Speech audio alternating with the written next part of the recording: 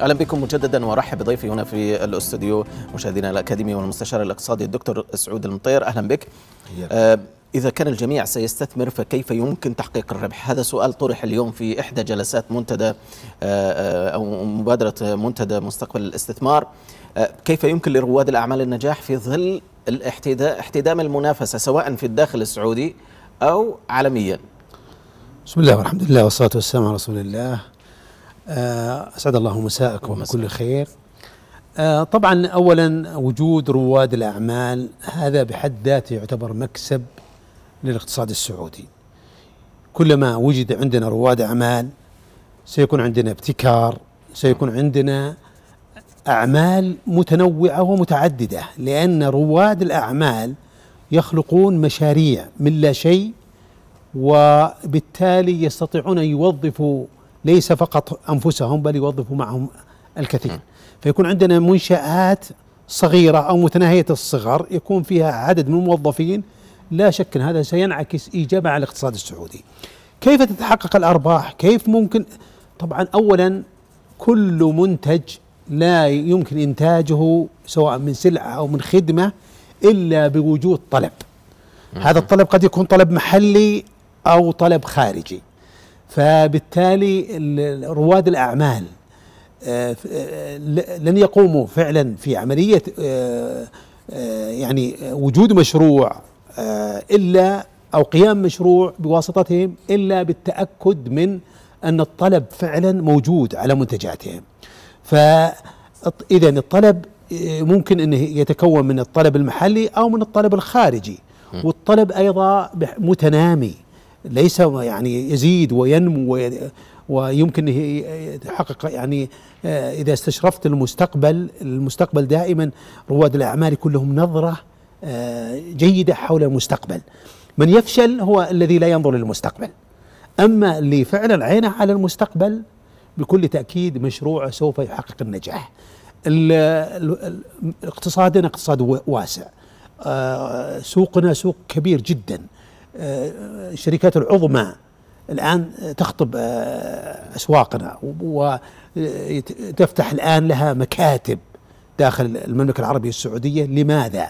ليس حبا في المملكة طيب. وإنما لأن هناك طلب متنامي ومتزايد تعتبر أكبر طلب في الشرق الأوسط عندنا حصيلتنا وتأثيرنا على الاقتصاد العالمي في الواردات لا يمكن إنكاره طيب قلت أفكار رائدة تكون لهذه المؤسسات أو رواد الأعمال ويجب أن تلبي طلب لدى المجتمع. لكن هنا في السعودية هناك انتقاد بانه أكثر المشروعات تقليد لمشروعات أخرى.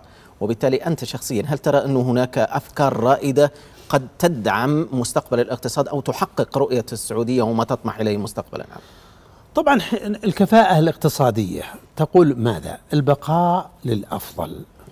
هناك نعم اللي ما يؤسس نفسه على أسس اقتصادية ودراسة جدوى واضحة المعالم أكيد إنه سيفشل.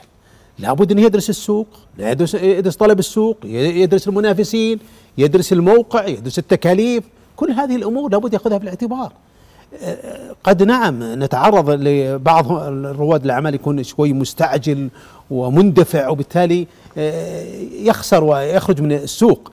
ممكن هذا لكن في النهاية سيكون هناك رواد أعمال ما يدخلون السوق إلا فعلا بعد دراسة واعية وبعد استشراف للمستقبل ومعرفة تامة أين تكمن الفرص. من هنا سيكون بكل تأكيد أي أي دخول كبير وعشوائي سيكون في خروج كبير.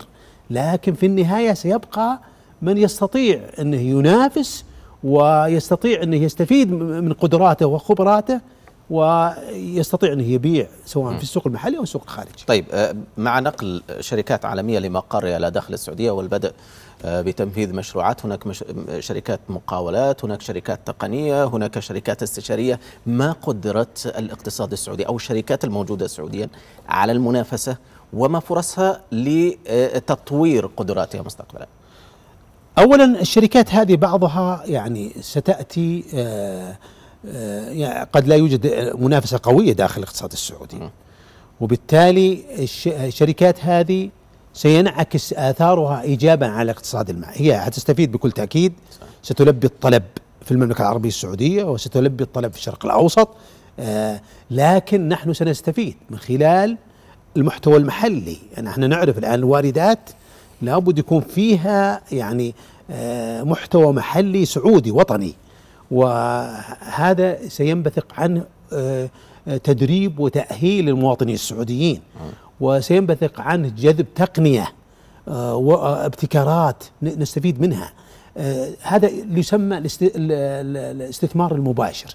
نحن في المملكة العربية السعودية عندنا استثمار آه، عالمي أو استثمار خارجي يربو على الاثنين تريليون. فيه منه 900 مليار أو يزيد قليلا هذا استثمار مباشر. والاستثمار المباشر هو الذي نطمح إليه كثيرا لأنه يخلق فرص عمل يدرب يجلب معه تقنية. تنعكس فعلا آه، ايجابياته كبيرة جدا. أما الاستثمار غير المباشر مثل استثمار المحفظة الاستثمار في سوق الأسهم السعودي في الصكوك في السندات آه، هذا مهم لكن أهميته لا يمكن مقارنتها بالاستثمار. فاذا هذه الشركات الآن عندنا حوالي 44 شركة عالمية دخلت أو ستدخل في المملكة العربية السعودية ستؤسس لها مكان ستوظف يتوقع أن يصل توظيفها إلى حوالي 30 ألف سعودي يتوقع أن تساهم بحوالي 67 مليار ريال. ال ال هذا فقط الأثر المباشر وما بالك بالأثر الغير مباشر. بخلاف الانعكاس جودة على جودة المشروعات. سواصل معك نعم. دكتور نعم. سواصل معك ولكن خلال مبادرة مستقبل الاستثمار مشاهدينا أكد الرئيس التنفيذي لشركة لوسيد موتورز أن المملكة ثاني أكبر دولة لطلب السيارات الكهربائية. هنا لأتحدث عن المستقبل مستقبل السيارات الكهربائية. وسامحوني لكوني متحيز بعض الشيء لكن أعتقد أن هذا هو الأمر. هذا مستقبل السيارة الكهربائية.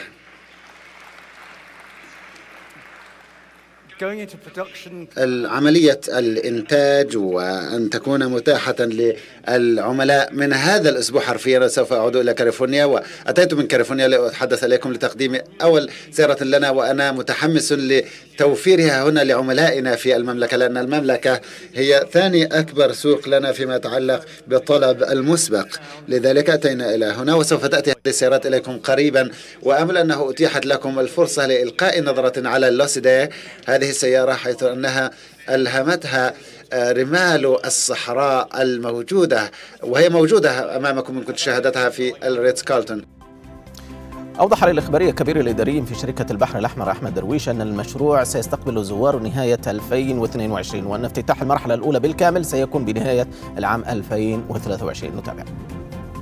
الحمد لله المشروع يعني قاعد ياخذ خطوات آه، مهمة جدا وبناء على الجدول الزمني المعلن. آه، بنهاية العام 2022 سيتم الانتهاء من ثلاث منتجعات. سيتم استقبال أول الزوار في نهاية العام القادم. بنهاية عام 2023 سيست آه، سيتم افتتاح المرحلة الأولى بشكل كامل 16 منتجع. سيتم تواجد المطار اللي ذكرته. وهنالك يعني تسارع في الخطى من ناحية البنية التحتية بالنسبة للمطار ولله الحمد. آه، وتجهيزه ليكون جاهز للمرحلة عند الانتهاء من المرحلة الأولى. طيب دكتور آه، سعود أعود معك للنقاش. عالميا هناك تسجيل لمبادرات هناك مشروعات اقتصادية هناك البحث عن الاستثمارات لكن فعليا بعض هذه الدول وبعض هذه المبادرات لم يبدأ العمل فيها. هل تعتقد بأنه لها فرصة في التقدم أم أنه آه، الوضع الاقتصادي أو التطورات الاقتصادية قد تلقي بظلالها من جديد وتعيد ترتيب الأولويات وقد تختفي كثير من هذه المبادرات التي أعلن عنها طبعا لا شك أن كل الدول في العالم تستقطب أو ترغب في الاستثمار الأجنبي. والمملكة العربية السعودية أحد دول مجموعة العشرين كذلك آه، يعني أحد ركائز الرؤية 2030 هو استقطاب المستثمر الأجنبي.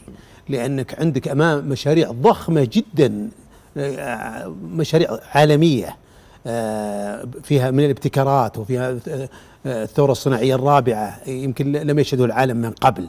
فلا لا شك إنه مجال استقطاب المستثمر الأجنبي أمر أساسي. ولهذا ليبشرنا آه، بالخير كثيرا إن الربع الثاني في قفزة كبيرة جدا في الاستثمار الأجنبي تجاوزت ال 50 مليار. فقط في الربع الثاني لم نشهدها من قبل. هذه الآن الاستثمارات لماذا؟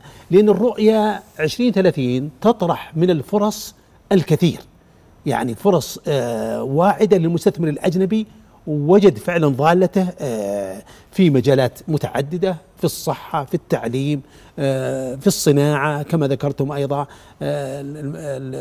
المملكة العربية السعودية مقدمة على الاهتمام بشكل كبير جدا بالطاقة النظيفة والسيارات الكهربائيه أحد القنوات لتحقيق هذا الهدف.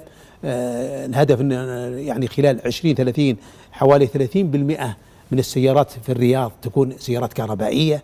ففيه هناك نقلة آه، كبيرة جدا وحراك على مستوى الرؤية رؤية برامج متعددة ومبادرات كثيرة جدا. فهناك مجالات واسعة للمستثمر الأجنبي. يعني ما هي ما هي أنت ما الآن تستخدم المستثمر الأجنبي لأجل قطاع معين واحد فقط. لا في قطاعات عديدة جدا. اليوم اليوم في الجلسات عفوا للمقاطعة كان هناك جلسات مخصصة للاستثمار في الأزياء وكم تؤثر في هذه الصناعة عالميا السينما وغيرها من الصناعات بالتالي هل تعتقد بأنه أجاب المنتدى على تساؤلات مستثمرين محليين ربما عن آه، أين سنستثمر وفي أي قطاع؟